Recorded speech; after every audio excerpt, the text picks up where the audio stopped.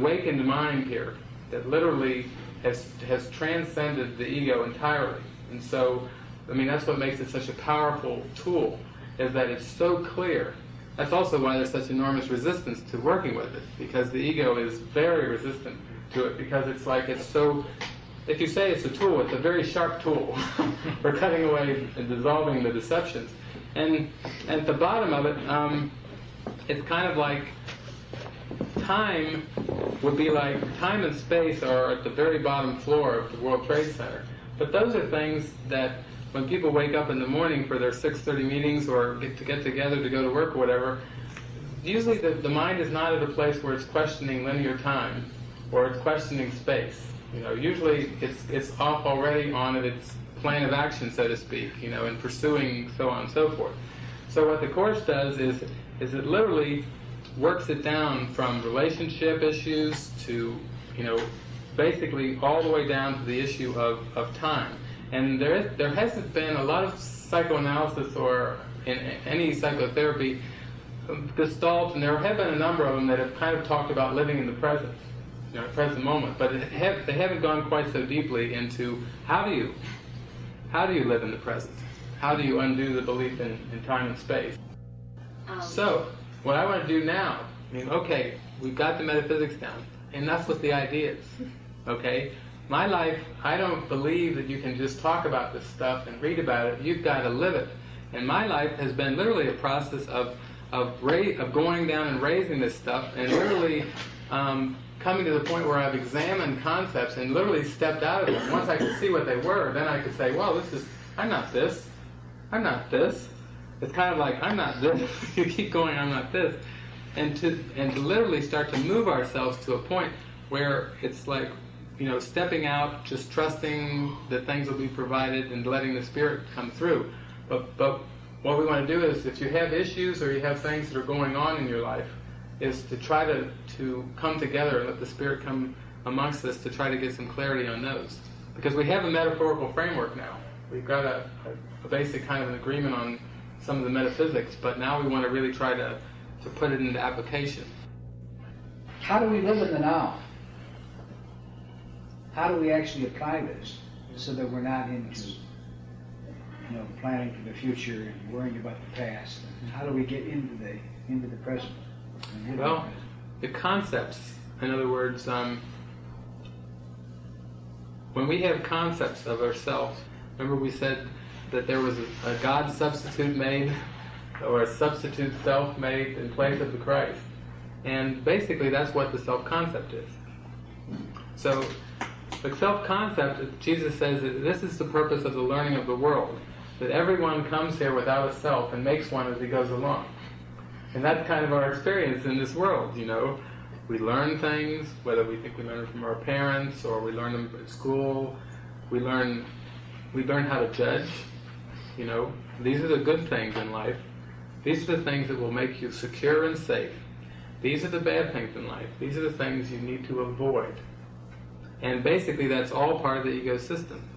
That the judgment that we learn in this world is to which things to pursue, which things to avoid, is still um, part of the defense system of trusting in the holy instant that the spirit can, can do it. So in this world, mature judgment is someone who has learned the ways of the world very well.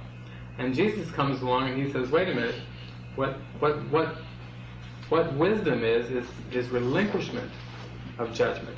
And that can be unsettling when you've put your faith and your forte is, is having come here and learned to be a good judge of the good things and the bad things, to start to see, oh my gosh, my whole system of good things and bad things is still part of the ego system. Actually, um, that, that good and bad stuff is, is all on the outside.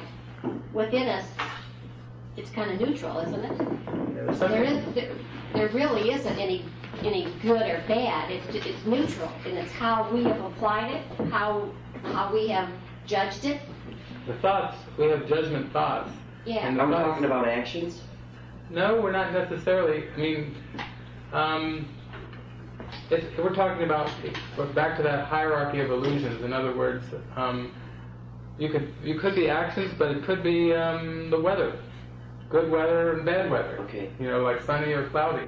It, it, any kind of, of an evaluation in a positive or a negative way um, literally denies that everything is equally illusory. So so that's where it comes in. And what the course is saying is is like you've constructed a maze of with from all your judgments, you've got a maze of complexity going here. And the Holy Spirit is your guide now. He's going to guide you out of the maze. The Holy Spirit, Jesus says, is evaluative. In other words, the Holy Spirit does judge. But he is capable of judging truly because he can see the past, the present, the future. Think of think of when you're trying to judge in the maze. Do we have cognition of the past and the future? Do we know the the results of every decision that we make, how it will affect everyone else? The, the Course is saying not that we shouldn't judge. Jesus is saying you can't. You aren't capable of accurately judging. That's why you need the Holy Spirit. and so, in that sense, the Holy Spirit is judgmental. So it's like in a maze, you know, you know you can only go left or right at every point. That we have all these seeming decisions to make, and that the Holy Spirit is in there guiding us. Go left, go right, go right. he knows. He knows the way out of the maze. But how about when when someone who's evil is affecting you, affecting your life and everything? Right? I'm worried. That's an illusion too. But that's what that's a good thing to go into. I've been working the. Nine lessons now. I could tell you a story. Yeah. If I talk more than five minutes, shut me off. Oh, go ahead. That'd be great. About a year ago, I went into business with this man. Um, 24 years old, has the ability to make hundreds of thousands of dollars per year. He is, in my eyes, evil. He has the ability, he has power. I've been reading this uh, Charles Fillmore, and I believe that he has power in his voice. He can walk into a room and just steal your blind, and you won't even know it. Got into business with this guy. Um, with all these big expectations, I'm gonna, you know, I'm gonna make millions, right? And uh, come to find out, this guy is the biggest crook I've ever met in my life. It's, it's got me all upset. Um, what's going on right now is he wants to sue me. I, you know, I feel in my heart I did nothing wrong. He's the one that wronged me. He's the one that wronged me. Um, it's it's crazy. Uh, And now you've picked up the Course in Miracles. Yeah. Boy, you my, needed that. my goodness. I mean, there's. Uh, um, what we're getting, and what I'm hearing too, is that you know you're feeling the tension, you're mm-hmm. feeling the fears, you're feeling the frustrations, the angers, and everything. And what the Course literally helps us do is Jesus comes right out and says, "You have no idea of the extent of the hatred that's in your own mind." And that literally, this is a course in unveiling the extent. What happens with that is that, like we were saying before, with this intolerable split in the mind, this intolerable hatred, is that that it does. That's the way that the ego deals with it. It wants to protect. I mean, that's this whole idea of evil out in the world, or a devil, or a force, is something I'm sure that we've all considered at one point. And Jesus addresses the devil. He calls it the devil in the course, and he says that the that the devil is, is a, seems to be very active, very powerful, and very destructive. And that literally he turns it around and says that that is the ego. That is the belief in your own mind.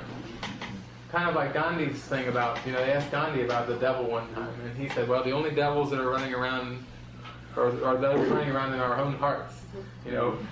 And it, but it sure seems, I mean, it, it can seem once the proje- in this projection, it can seem like there are evil forces and everything around us. But now you've picked up a book that's going to be telling you and literally teaching you systematically. It's already released me, like I say, within eight lessons, um, because it, it's had me literally paralyzed. The situation I'm in right now is that uh, is a place that I don't particularly care for, um, but I'm, I've come to it. Uh, I go to it, I should say, with the idea of learning. And this place that I'm working in a, in a factory setting is is the well, I don't know what you want to call it, the universal mind's way or the, the higher consciousness or God's way of saying, Mark, this is this is what you believe about yourself, and the only way to learn about who you are is to experience it right out in front of you, and that's what I had a thought about about your experience. That sometimes the things we we don't like about ourselves, we the thought I had was if you didn't if you thought that this situation you were in, well, you wouldn't be sitting here for one thing.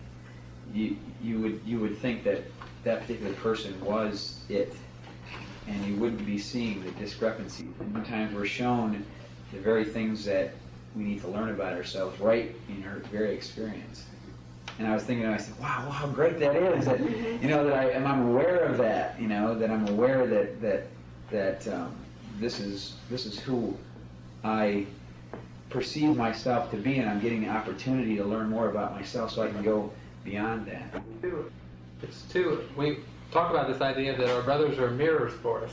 These unconscious things. I mean, that's why the course is a is such a, a strong path of, of using relationships to, to flush or flush this stuff up because it's unconscious.